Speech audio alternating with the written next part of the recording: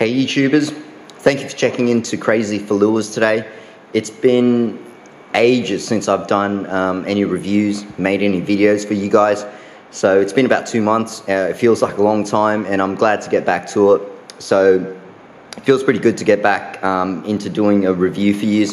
Um, and you know, this particular review is on my absolute favorite rod um, that I own um, that I've actually ever used. So, um, you know, I remember when I first purchased this rod, I got it for an absolutely fantastic price. Um, a friend of mine down at a fishing store actually recommended this rod to me. I was actually um, going in to buy uh, a, I, I think it was either a St. Croix uh, rod or it was either one of Daiwa's interline rods where the, the line itself uh, travels through the middle of the blank. And um, yeah, you know, he didn't have those particular ones there. Um, and he said, you know what, you just got to try out this particular rod because it's, it, it's by far one of the better ones. Uh, after fishing with it for the last uh, about, say, two years, um, I can honestly say that this is by far the most sensitive rod I've ever uh, used. Um, it's one of the strongest rods I've ever used as well, and it's also incredibly light. I think they're three of the characteristics that you'd be looking for uh, when you do make a purchase and you know decide whether or not to open up your wallet and um, go go with that particular rod. You know, it's always scary when you, you walk into a fishing store and you want to uh, invest into a fishing rod that you know costs a, uh, costs a bit. Now is it really worthwhile to spend that extra bit of money to to be able to get that um, performance and, and action and feel from from the rod? Because you know obviously when you're out there you're spending that much time on the water you want to be enjoying uh, what you're doing and, and and enjoying you know pulling in those fish or even just working lures um, uh, while you're out there. So um, yeah, it was a scary thing, but um, at the end of it, I'm, I'm real pleased that I, I did make uh, the decision and said yes to him. He gave me a fantastic price, and I, I do not regret it at all. So, first of all, let's start off by um, letting you know that it has won uh, ICAST 2010 uh, 10 award for um, the best of show uh, for the uh, best uh, freshwater rod uh, category. Okay, now the most important thing about a fishing rod is by far not even close. Uh, the construction of the blank and and and what they put into that blank. So not only the materials, uh, the resin that they use, the graphite slash carbon that they use. Um, it's also got to do with the process and the curing and, and, and, and how they cook that product in the oven, how uh, the whole process to give you the end, end result, which is, is the blank itself. So, guys, for in, in terms of the blank, if, if for anyone who doesn't know, pretty much the blank is, is the section, the tubular section of the fishing rod without any other components on it. So I'm talking about this section here, okay? The, the stick itself, okay? This tubular section that slowly gets thin without the guides, okay? So that's just the blank here, without any of these things here on it and without uh, the reel seat, the handle there, and without, yeah, these, these sections here, the cork that you see there pretty much. Now, it's one of those uh, components of the rod that unfortunately, if a company did want to uh, skimp on, on the quality of it, you know, aesthetically, you cannot tell. You know, just by looking at it, you can't tell whatsoever how strong um, the rod is, how sensitive it is. Um, also, you know how how well it feels. You know the, uh, when when you when you use it and fish it as well. Okay. But after extensive use with it, like I said, I've owned it for about about two years, and um, I use it actually very very often, and uh, it's my absolute go-to spinning rod. Okay, this particular model here is. Uh, it, it's it's the baby in in the range of, of, of the NRX spinning series. Um, it's called the uh, it's a six foot eight uh, medium. Okay, the model is called 802S uh, JWR, um, which is the, the, the, jig and worm um, edition. All right, so when you're using jigs and, and worms, it's very much, uh, it's, it's obviously a lot more fin- finesse than, say, crank uh, baiting, uh, jerk baiting. Uh, and also things like, you know, it's definitely more finesse than, say, for example, a classification of an umbrella uh, rig uh, rod um, as well. So it is the baby, it is the lightest version. Um, when I say light, I don't just mean physically light, I'm talking about how much strain and weight it can take um, and its line rating as well. So let's go into the, the technical side of it and let's ha have a chat about um, the numbers, all right? So the taper itself, it's an extra fast taper. What taper means is if I go, if I zoom out for you here and we look all the way at the front at the tip of the uh, rod, extra fast means that as uh, the rod itself is under a load or a fish is on it, taper or action means how far up the tip the rod wants to bend the most. So if you've got a very fast action, what that means is that it's incredibly uh, springy and, and, and pliable and, and bendy at the tip. All right, guys. If you've got a slow action or moderate action, it uh, ultimately means that about in the middle of the uh, of the rod. So from this section to the tip, about in the middle of it is where it wants to do its bending, as opposed to wanting to bend more so at the tip. All right. So extra fast is pretty much uh, pretty much means uh, very very bendy at, at, at the tip. Okay, that's where the blank itself wants to primarily will will bend. All right, its line weight rating is six to ten pounds, meaning that um, you know these rod companies give you a rating where if you were to put on a, a certain line. Um, you know how much weight it can actually take. So they recommend about uh, six to ten pounds worth of, of, of line. Okay, something's going to give, guys. So it's either going to be the line breaks, uh, your hook gets straightened out, uh, you know your knots fall out if you haven't tied them properly, or the worst case situation is that your rod snaps. Okay, so if if by chance you put on heavier line, what's going to happen is that the line is stronger than what the rod can take as it bends, and the, the, the rod itself is going to snap. Now, I actually use around about 30 pound line on this. Now, the style of fishing that I, I, I, do, I have to put on a very, very thick line, okay? Um, but it's just a testament to the fact that this particular rod can handle weights and and and the pressure of a really heavy fish at the end and uh, of the end of the line as well. It's never uh, failed me, and it's it's a, it's got a really really strong backbone as well. So this bottom tip here of the blank, it's incredibly strong. Okay, so you get a very fast tip, very bendy tip, um, so it's very sensitive down that end, and then you get an in incredibly strong uh, mid to rear to mid section here as well. Okay, so giving you that power to uh, and the leverage to be able to, to really pull in uh, that particular fish that you're trying to fight with. All right, so the lure uh, weight, so the recommended lure weight is uh, one eighth of an ounce to a quarter of an ounce. Guys, I've thrown you know weights around about that, and I, I certainly throw heavier weights than that as well. You can, it, the rod can take it. Um, in terms of the guide system itself, Okay, the guide system is um, there's eight guides and then plus one tip, so nine in total. Uh, this particular color is considered the blue. They have a green color where the whole blank itself, okay, is completely this sort of uh, uh, it's a green color. Uh, this color blue, it's a natural uh, color of the blank with these uh, blue bits here, with those blue accents. All right. All the way for each guide. All right, next step would be the handle length itself is 14 inches. Okay? 14 inches long for, for this particular model.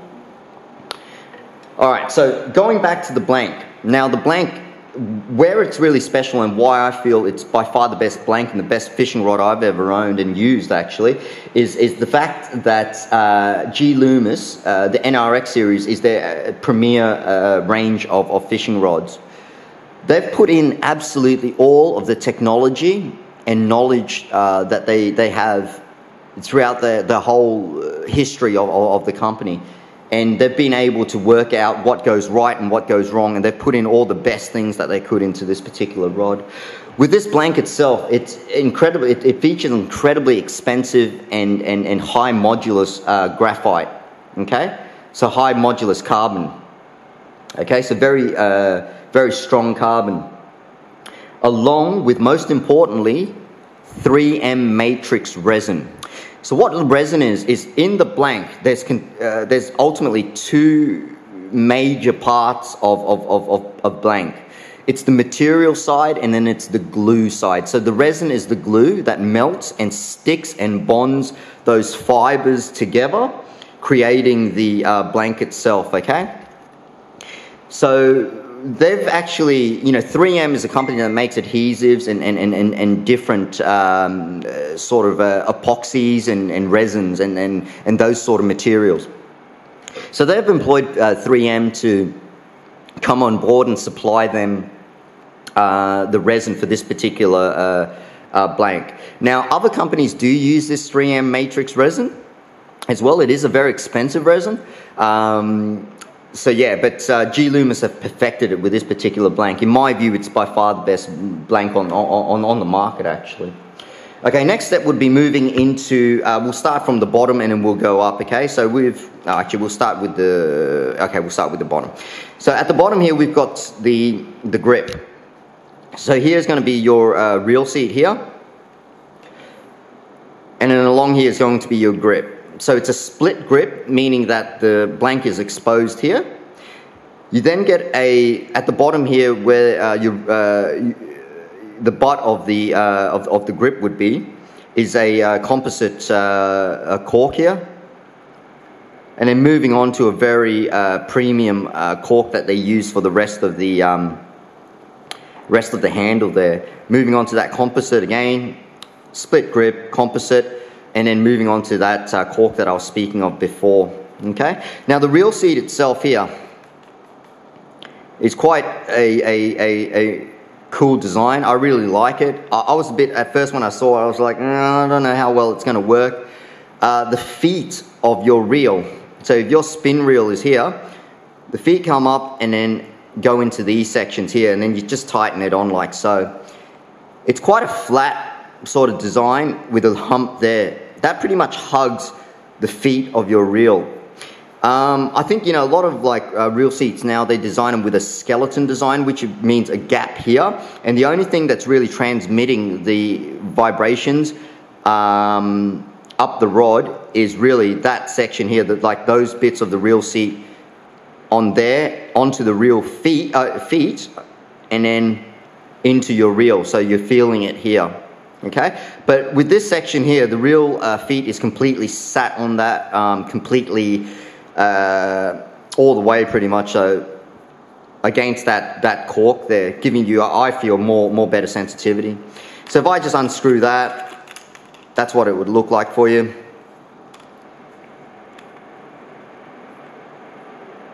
Alright, and then putting that back on, lining that up there, and that's how you'd apply your, uh, your reel. Alright, very comfortable to hold um, as you're using, using it there. So, all right, so you're going to get a, uh, a hook tie there on that side. So as you're, you're uh, holding the rod like this, it's going to be located on the left-hand side. Moving on here, you're going to get those blue um, accents there.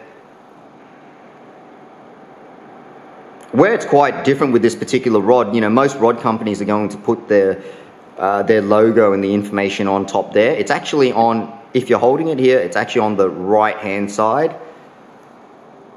Looking at it like so, you've got your G Loomis logo there. That's their new uh, Sick Fish logo.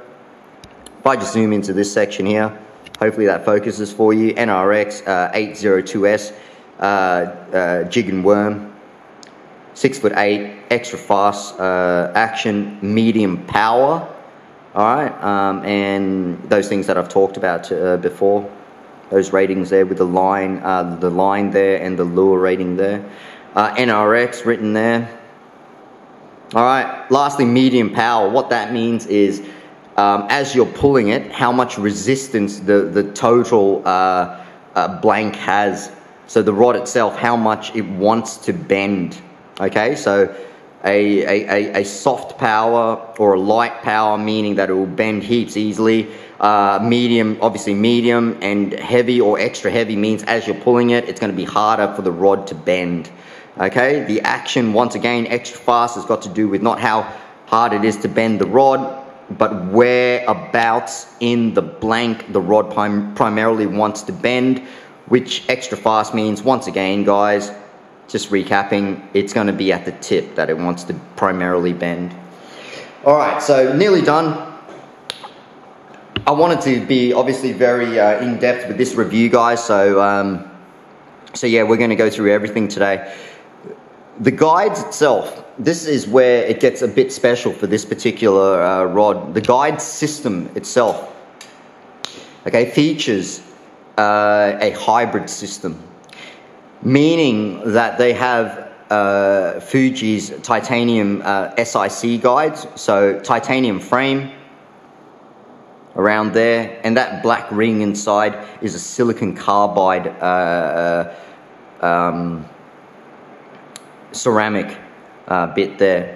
Silicon carbide is pretty much the industry leading standard for, for, about the last 10 years or so. It's pretty much what most premium rods uh, feature, uh, well, their guide system features, anyways. Uh, it's one of those materials that are incredibly hard.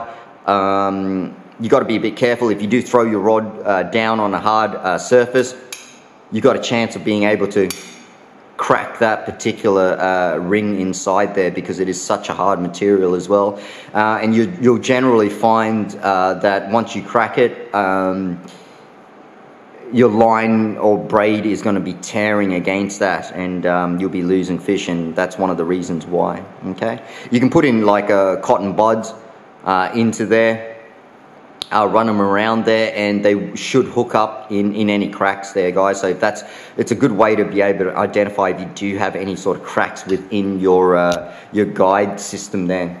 All right so like I said hybrid guide system. What that means is that the first is going to be titanium uh, SIC silicon carbide. Second one's going to be the same thing titanium SIC. Third one's going to be titanium SIC. And then the next five are going to be which I don't have on here, but I'll get into that in just a second. It's going to be, let's have a look here. Sorry, just give me a moment. It's going to feature uh, G. Loomis recoil guide. Alright guys, I'm not a fan of recoil guides. I've used them for a year and a half and I ended up replacing them with titanium SIC guides. And I'll go into why. All right, so I absolutely love the rod, and um, but I, over time I actually got these replaced with, like I said, titanium uh, silicon carbide. Now, what recoil guides are? They are um, the brand. The brand of it is REC Recoil Black Ion Coated uh, Nickel Titanium guides. So recoil meaning that it's like a little uh, string of of uh, of, of that material that I just mentioned and it folds like that creating a little hole like a guide system there. Okay? Now these recoil guides if you were to bend it and then flip it and let it go it would pop back into its original position. Okay? Bend it enough guys over time they're going to snap. Okay? Now the reason why they use one two three four, and five recoil guides.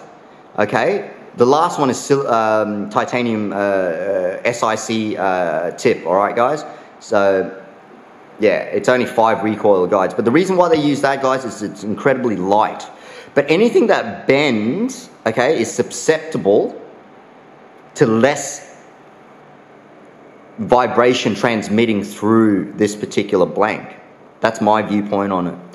If it's able to bend, there's less chance of it being obviously incredibly hard and being able to transfer any vibrations uh, from the line up into the blank, okay, from the, the, the, the line to the guide, up into the blank, down all the way to your hands that you're feeling with. Okay, but uh, the reason why I um, changed them over is because I, one, they're incredibly noisy, and two, I broke one of them. After I went like that and then let go, it just went snap. So then I changed one of them, and then after a while, I think I broke another one. And I'm really, really careful with all my products, guys. And it's one of those things that I was quite disappointed in. I really wanted to give these um, these uh, titanium um, um, recoil. Uh, sorry. Um, yeah, titanium, uh, nickel titanium recoil guides a, a, go, but unfortunately, I fished them for a year and a half, and I ended up having to change them all to um, to this system here. So on my particular rod, I've, I've, I've customized it and I turned them all to uh, titanium uh, SIC guides. All right, so just to um, end the review, I know it's been a long review and I really appreciate you guys uh, sticking around to, to, to, hear it all. But um, if you guys are wondering whether or not to make, you know, plunge in and then and go ahead with buying excuse me, buying one of these rods, do it. Because, um, like I said, I've fished a lot of fishing rods. Um, some really premium ones, okay? A lot of them really premium ones, but nothing as close as this. This is, to end the review, the best uh, fishing rod I have ever, ever even had, had the privilege of using. All right, guys. All right, so I'll leave you to it. If you have any uh, comments, please uh, let me uh, know below. Uh, if you like the video, uh, give me a thumbs up um, and subscribe to the channel as well. I know it's been a really long review, but I did it for, you know, in a situation where you really needed to get in depth with this particular rod and have a closer look at, at all its components as well, guys. I'll catch you around next time. stay tuned for more reviews. I'll be doing a whole heap in the next month or so.